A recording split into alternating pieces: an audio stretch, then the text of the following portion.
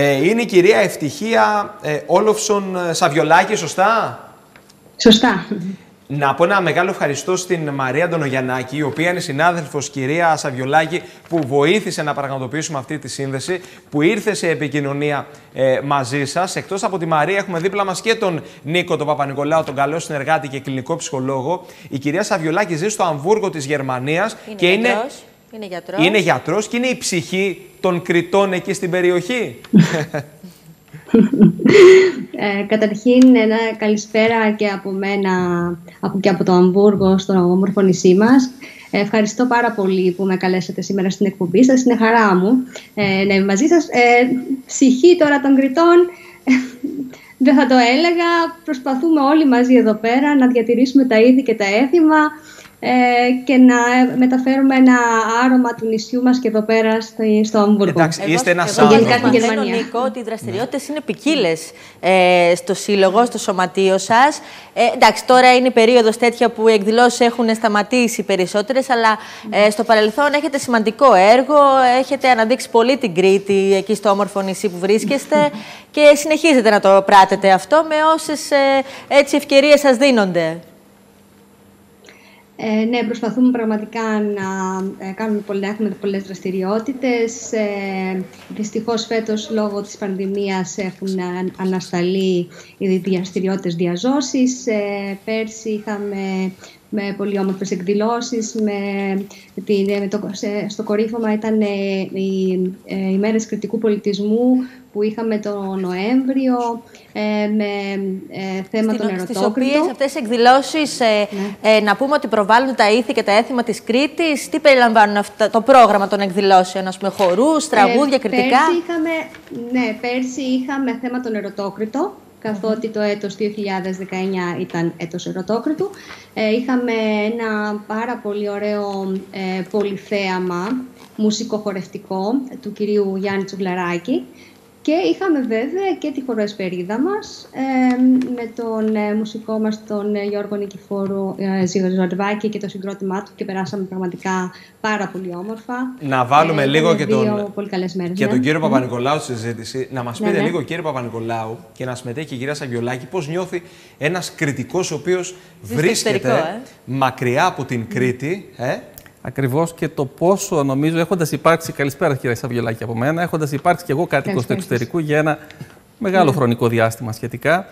Τελικά όλα αυτά τα ανταμώματα των κριτικών, όλα αυτά τα ανταμώματα των Ελλήνων είναι κάτι τα οποία πραγματικά ε, κάνουν τους ανθρώπους να αισθάνονται καλύτερα, να αισθάνονται περισσότερο δεμένοι, να αισθάνονται ναι. περισσότερο.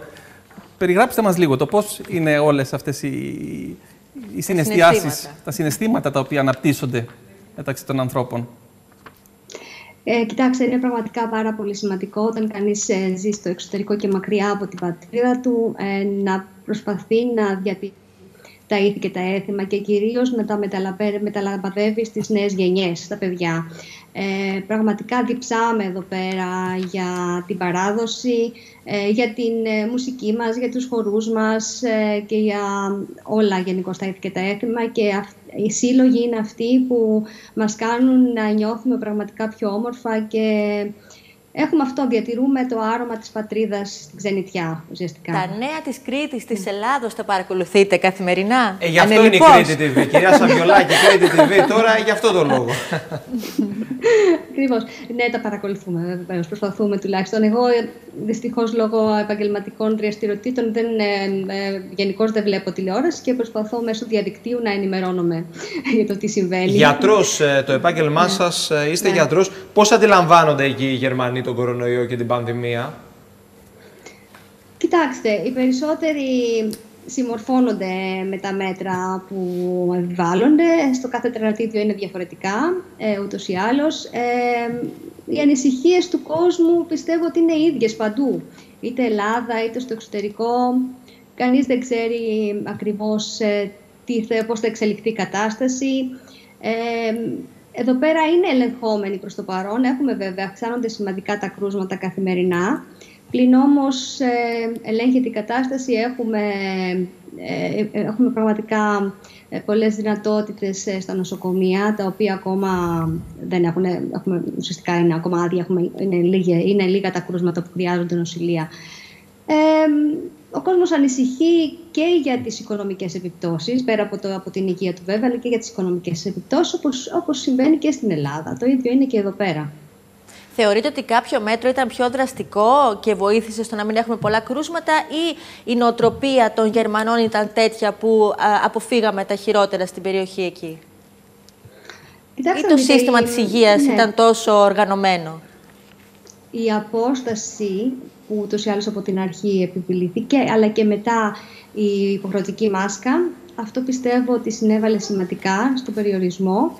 Ε, τώρα βέβαια έχουμε τους νέους ανθρώπους, κυρίως ε, τα νέα παιδιά που δεν δέχονται τόσο πολύ τα μέτρα πλέον και βλέπουμε ότι έχουμε μια έξαρση πάλι των κρουσμάτων στις ε, πιο νέες ηλικίες. Οπότε θέλει προσοχή.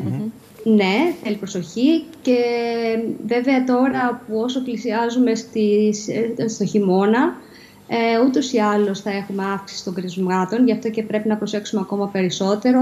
Ήδη καθημερινά δηλαδή έχουμε περισσότερα κρούσματα. Σήμερα στο Αμβούργο είχαμε 93 καινούργια κρούσματα. Ε, οπότε πρέπει πραγματικά να προσέξουμε πάρα πολύ τον επόμενο καιρό και να τα τηρήσουμε όλα αυτά τα μέτρα που επιβάλλονται.